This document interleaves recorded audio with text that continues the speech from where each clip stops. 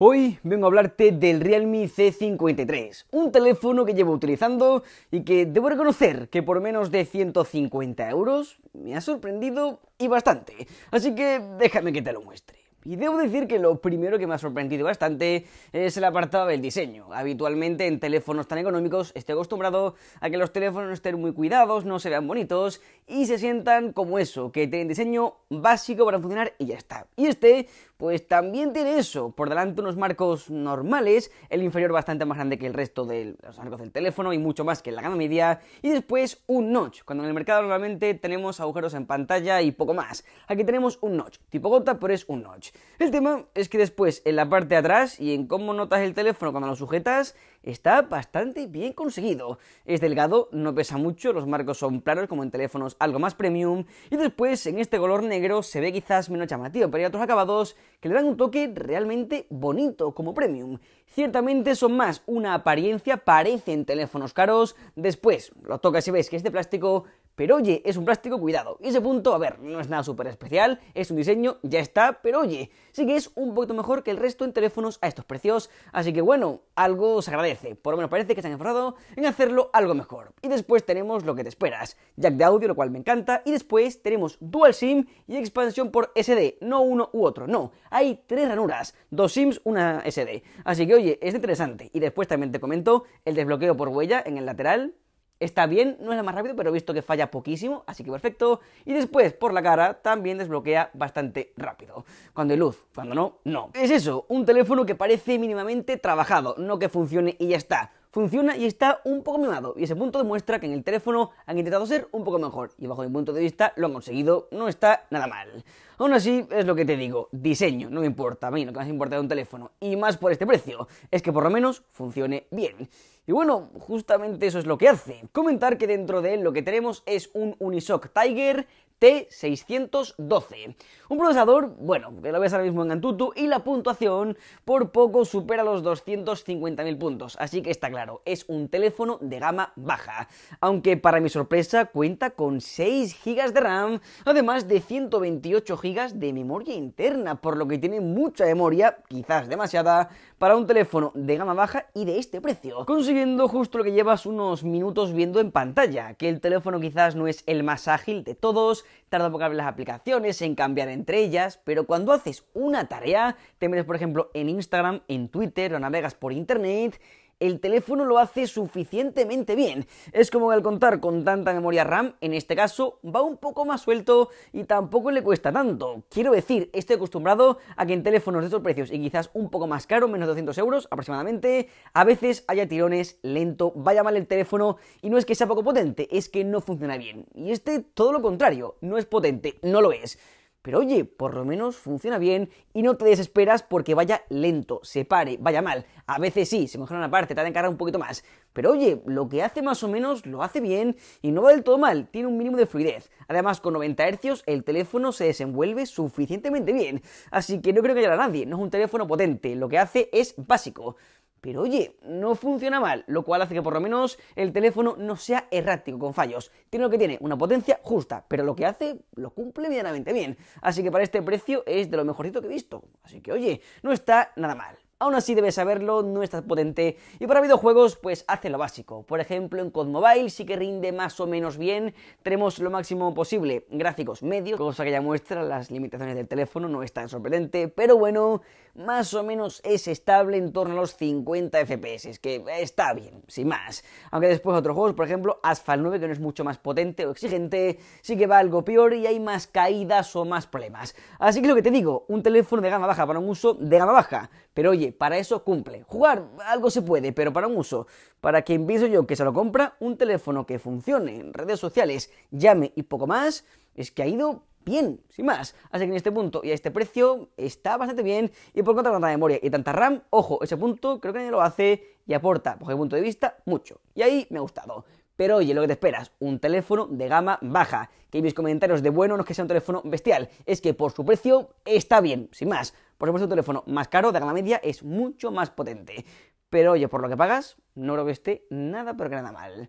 Pasa igual con el apartado de la cámara, y aquí estoy sorprendido, porque sí, como verás, tenemos como tres agujeros en la cámara, en el módulo, pero solamente uno de ellos es una cámara. Eso sí, una cámara sorprendente, contamos con 50 megapíxeles, y te pongo en pantalla las fotografías que he tomado con el teléfono, y a ver, no te mentiré, son bastante normalitas. Lo bueno es que quizás un sensor como este, la diferencia más grande entre una cámara con un teléfono de gama baja y uno de gama media o gama alta, en muchas ocasiones, muy entre comillas, es lo que hace el procesador, todo ese post-procesado. Así que en las fotografías y momentos donde no hace falta ese trabajo por detrás, como es durante el día, en momentos y escenas sencillas, la cámara no está tan mal. Repito, tan mal, no que sea bestial, pero oye, se una calidad correcta, buena. Es ya de noche, a contraluz, con modo retrato, cuando ya empieza a sufrir, pero para tareas y fotografías muy básicas y sencillas, no lo hace tan mal. Y de hecho, es lo que tengo que decir, me esperaba menos. Esos 50 megapíxeles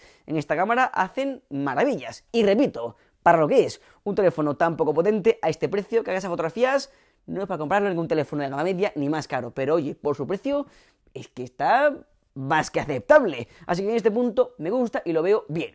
Después, el vídeo, pues es lo que te esperas. Tenemos mágicamente grabación a Full HD, esperaba menos, la verdad, pero únicamente a 30 FPS. Y bueno, la calidad es la que es. Durante el día tampoco se ve pues del todo, del todo mal. Se puede aceptar para redes sociales, mandar un vídeo a una persona por WhatsApp, por ejemplo, pero tampoco pidas mucho más. Y estabiliza como estabiliza. No está mal, pero repitamos, es un teléfono de gama baja. Cuesta unos 150 euros. La cámara es lo que te esperas, una cámara de un teléfono así de económico pero oye, por lo menos no es esa cámara que hace fotografía y ni ves que hay. No, por lo menos se ve algo bien, así que no está mal. Ahora, lo que sí que está y bastante bien es el apartado de la pantalla, muy grande. 6.74 pulgadas. Comentar que en este caso claramente la tecnología es IPS y con suerte, no me lo esperaba, tenemos resolución Full HD y 90 Hz en pantalla, lo que hace que no se vea del todo mal. Comentar que quizás su punto más débil en este caso son los ángulos de visión, las pantallas IPS es lo que más se nota,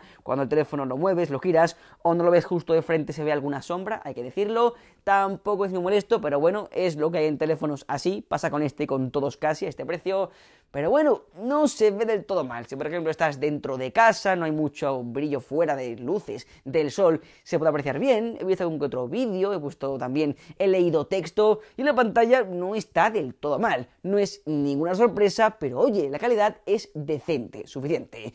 Para mí, su punto más débil es cuando vas a la calle, bajo el sol, con poco más de 450 nits, cuesta verla bajo el sol. Más ahora cuando yo vivo, pues hace mucho sol y es muy fuerte. Para verlo bajo el sol hay que irte, pues por ejemplo, verte de espaldas al sol y taparlo con la sombra de tu cabeza. ¿Lo ves? Y entonces se empieza a ver. Si no, es complicado. Después dentro del coche, con Google Maps, por ejemplo, es complicado. No es que no se vea, se ve, pero tienes que mirar fijamente o si no, cuesta un poco. Es una pantalla claramente de gama baja. ¿Qué calidad está bien? Porque no es eso, no es que la pantalla sea mala en calidad. No, la calidad es buena, la base está bien, pero son los puntos extras que suben el precio de otros teléfonos y en estos lo baja, como es el brillo, ángulos de visión, colores, etc.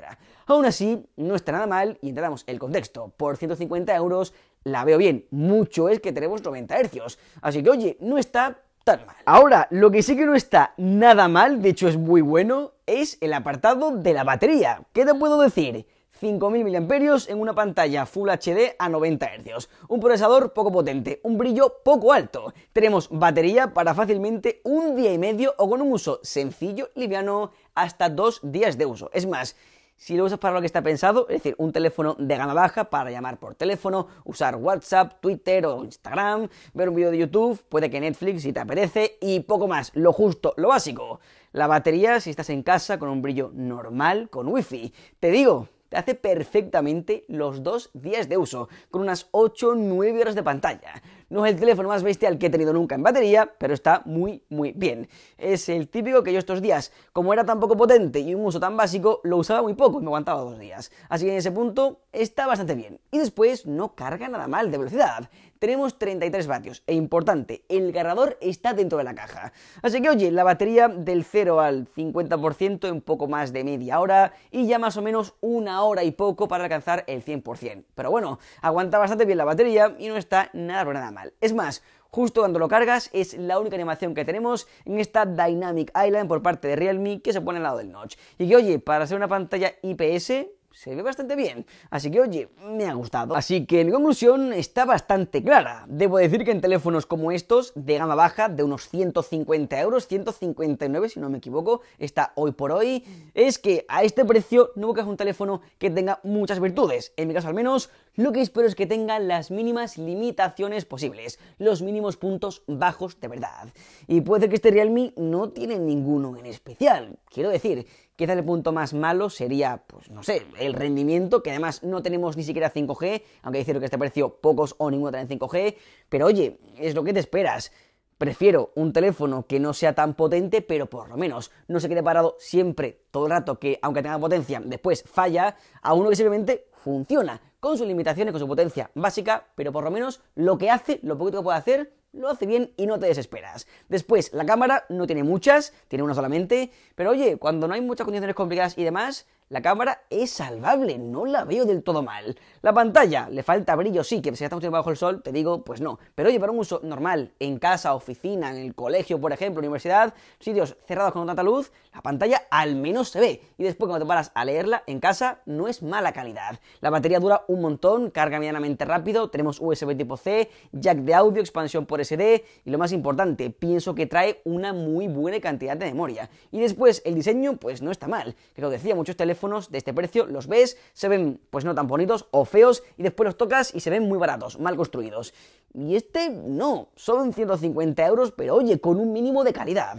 Así que me gusta, lo veo bien, me gustaría probar las opciones por este precio para ver cuál es el mejor o cuál es el peor, es que no puedo compararlos porque he tenido pocos teléfonos así últimamente, pero puedo decir que por 150 euros esto es lo que me esperaría, ni mucho más ni menos, no es que sea un teléfono bestial, muy superior, pero por lo menos cumple, o al menos esa ha sido solamente mi opinión. Te pregunto ahora, después de ver todo esto, ¿tú qué opinas? ¿Te ha gustado? ¿No te ha gustado? ¿Te lo comprarías? Sea como sea, coméntame que te quiero leer. Y por llegar hasta aquí te quiero hacer dos regalos. El primero es mío, lo he elegido yo para ti. Creo que te puede gustar.